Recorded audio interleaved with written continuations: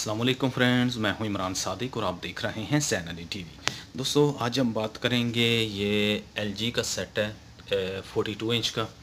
तो फॉल्ट आपके सामने, जैसा कि आप देख सकते हैं, इसमें हाफ़ स्क्रीन प्रॉब्लम आ रहा है, ठीक है? आधे यहाँ पे आप देख सकते हैं, ये आधी स्क्रीन है इसमें, यहाँ पे नीचे। तो यहाँ पे स्क्रीन है, यहाँ पे एक तरफ़ से नहीं है, ठीक है? ये हाफ़ स्क्रीन फॉल्ट है। तो आप मेन्यू भी इसका देख सकते हैं, ठीक है? तो ये हाफ़ स्क्रीन फॉल्ट है एलजी का सेट है 42 इंच का तो मैं भी आपको इसका मॉडल दिखाता हूँ कि इसका मॉडल कौन सा है। ये आप देख सकते हैं 42 ठीक है L F two zero F R ठीक है, ये इसका मॉडल नंबर है। तो ये बतालीस इंच का L C D T V है एल जी का। तो इसमें हाफ़ स्क्रीन प्रॉब्लम है। तो चलो देखते हैं इसको बैक कवर को रिमूव करके कि इसमें हर फॉल्ट क्या है, ठीक है? तो जी फ्रेंड्स मैंने ओपन कर लिया बैक कवर को। ये इसका मदरबोर्ड लगा हुआ है, ठीक है? ये इसकी पावर सप्लाई बोर्ड है।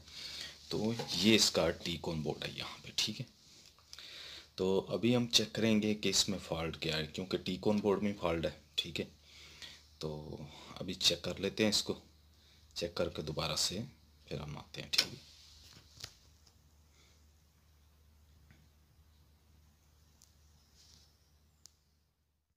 तो जी फ्रेंड्स मैंने चेक किया इसको। ये टीकोन बोर्ड भी बिल्कुल इसका ओके है, ठीक है? इस टीकोन बोर्ड में कोई फॉल्ट नहीं है, ठीक है?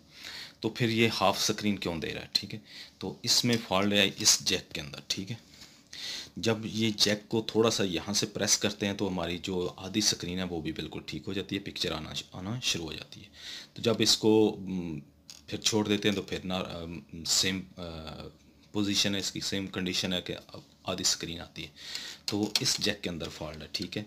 तो यहाँ पे हम करेंगे क्या? मैं अभी आपको दिखा देता हूँ, ये थोड़ी सी लूज़ है, ठीक है? लूज़ हो चुकी है, जिसकी वजह से ये फॉल्ट आ रहा है। तो हम इसको रिमूव कर लेते हैं। रिमूव करके इसको ओपन कर रहे हैं, ओपन करके इसके ऊपर हम टेप करेंगे, ठीक है?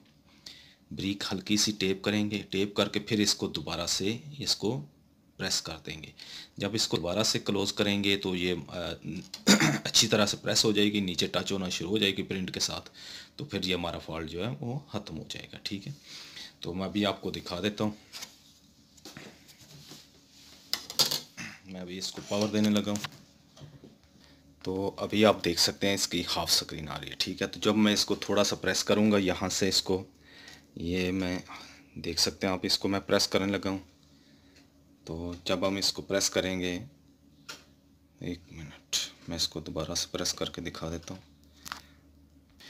तो आप देख सकते हैं मैंने अभी प्रेस किया तो ये लाइनें आना शुरू हो चुकी हैं, ठीक है? तो ये आप देख सकते हैं, ये ये देख सकते हैं, यहाँ पे फॉल्ट है बस इसका।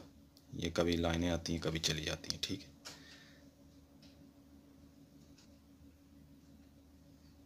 ये आप देख सकते हैं। ये, ठीक है। अभी मैंने इसको थोड़ा सा ये अब सेट हमारा ओके गया लेकिन ठीक है, अभी भी देख सकते हैं आप। कभी ठीक हो जाती हैं, कभी फिर लाइनें आ जाती हैं, ठीक है। तो इसमें फॉल्ट जो है वो बस यहाँ पर है, ठीक है? जब इसको थोड़ा सा प्रेस करके रखते हैं नीचे से तो फिर हमारी पिक्चर आना शुरू हो जाती है। जब इसको छोड़ देते हैं तो फिर हाफ़ स्क्रीन हो जाती है। तो हम इसको इसके ऊपर थोड़ी सी टेप करेंगे। टेप करने से हम इसको फिर थोड़े, ये इसको ऊपर दोबारा से इसको क्लोज़ कर देंगे।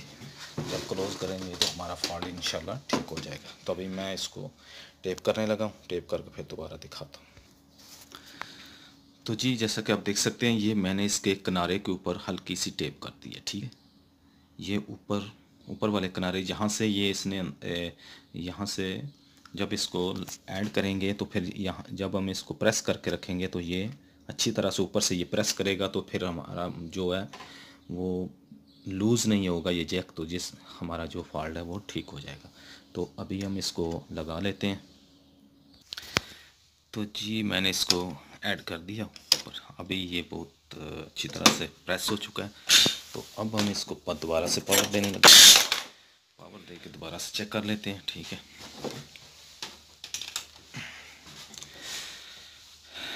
तो ये मैंने पावर दे दिया।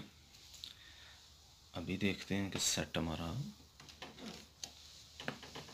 तो आप देख सकते हैं इस इस वक्त बिल्कुल ओके है, ठीक है? हाफ़ स्क्रीन का प्रॉब्लम जा चुका है, ठीक है? तो बस इस जैक की वजह थी। जब ये थोड़ा सा भी लूज़ हो जाएगा तो फिर हमारी जो स्क्रीन है, वो हाफ़ नज़र आएगी, ठीक है? ये जैक टीकोन बोर्ड भी बिल्कुल ओके है, ठीक है? तो ये जैक जो है लूज़ होने की वजह से ये फॉल्ट आ रहा था। तो अभी मैंने यहाँ पे टेप कर दिया टेप करके इसको अच्छी तरह से प्रेस कर दिया है नीचे। तो अभी हमारा सेट बिल्कुल ओके है। अभी हाफ़ स्क्रीन जो है, वो बिल्कुल ठीक है। देख सकते हैं आप। बिल्कुल सेट ओके हो चुका है।